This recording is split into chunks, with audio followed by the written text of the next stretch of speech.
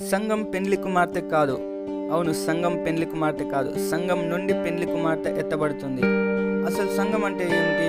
వాక్యాన్ని జాగ్రత్తగా పరిశీలిస్తే అపోస్తల కార్యం రెండో అధ్యాయం నలభై ఏడవ వచనంలో ప్రభు రక్షణ పొందుచున్న వారిని అనుదినం వారితో చేర్చుచుండెను.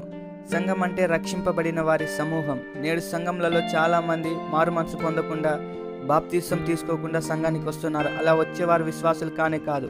అసలు రక్షణ లేని బిడ్డలు విశ్వాసులు కానే కాదు కేవలం రక్షింపబడిన వారే సంఘం. సంఘానికి వస్తూ తమ బంధువులు అన్యుల పండుగలు చేస్తే అందులో పాల్గొనే విశ్వాసులు ఉన్నారు. అట్టి వారు క్రైస్తవులు అనిపించుకోవడానికి అర్హులు కానే కాదు.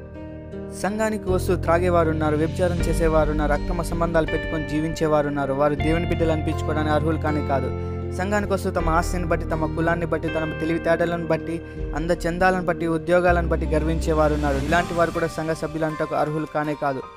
నేటి కొన్ని సంఘాలను చూస్తే సమస్త పాపంతో నిండి ఉంటుంది. ఇలాంటి వారు సంఘంలో ఉంటారు కానీ ఇలాంటి వారి మధ్య నుండి ఎవరైతే మారు మనసు పొంది తమ పాపాల విషయమై పశ్చాత్తాపడి బాప్తీసం తీసుకొని పరిశుద్ధాత్మను పొంది జయ జీతం కలిగి ఉంటారో వారే పెండ్లి కుమార్తె. వారు సంఘంలో నుండి ఎత్తబడతారు. అపోస్తులైన యోహన ప్రకటన గ్రంథం రెండు మూడు అధ్యాయంలో ఏడు సంఘములకు పత్రికలు రాస్తూ ప్రకటన గ్రంథం రెండో అధ్యాయం ఏడో వచనంలో జయించిన వానికి దేవుని పరదేశంలో ఉన్న జీవవృక్ష ఫలములు భుజింపనిద్దును ప్రకటన గ్రంథం రెండో అధ్యాయం పదకొండవ వచనంలో జయించిన వాడు రెండో మరణం వల్ల ఏ హాని చెందడు. ప్రకటన గ్రంథం రెండో అధ్యాయం పదిహేడవ వచనం జయించిన వారికి మరుగై ఉన్న మన్నాను భుజింపనిద్దెను ప్రకటన గ్రంథం మూడో అధ్యాయం ఐదవ వచనం జయించిన వాడు అలాగున తెల్లని వస్త్రములు ధరించుకొనును. ప్రకటన గ్రంథం మూడో అధ్యాయం పన్నెండవ వచనంలో జయించిన వాడిని నా దేవుని ఆలయంలో ఒక స్తంభంగా చేసేదను. ప్రకటన గ్రంథం మూడో అధ్యాయంలో రెండు ఇరవై ఒకటో వచనంలో జయించిన వాడిని నాతో కూడా నా సింహాసనం మీద కూర్చుండనిచ్చేదను. సంఘం అంతటికి కాదు కానీ జయించిన వారికే పరదేశంలో జీవవృక్ష ఫలములు ఇస్తా అంటున్నాడు.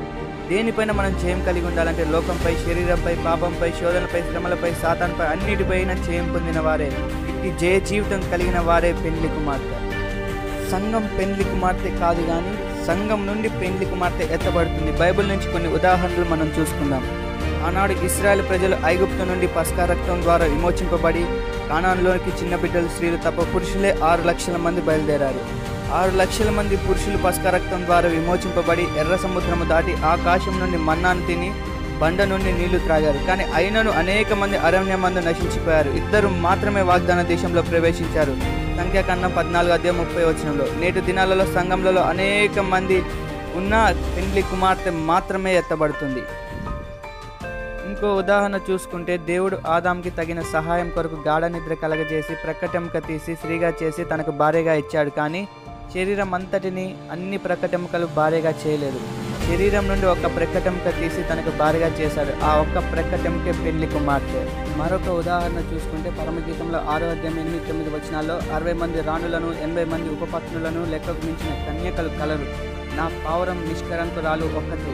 పైన ఉదాహరణగా చెప్పబడిన అన్నిటిలో నుండి సంఘం పెళ్ళికి కుమార్తె కాదు అని సంఘం నుండి కలంకమైనను ముడతైనను లేని జయ జీతం కలిగిన గుంపు మాత్రమే పెళ్ళి కుమార్తె అని స్పష్టంగా కనిపిస్తుంది. ప్రభు అయిన యేసుక్రీస్తు రహస్య రాకడలో ఆకాశ మండలంలోనికి వచ్చినప్పుడు సంఘం మొత్తం కాదు కానీ పెళ్ళి కుమార్తె మాత్రమే ఎత్తబడుతుంది.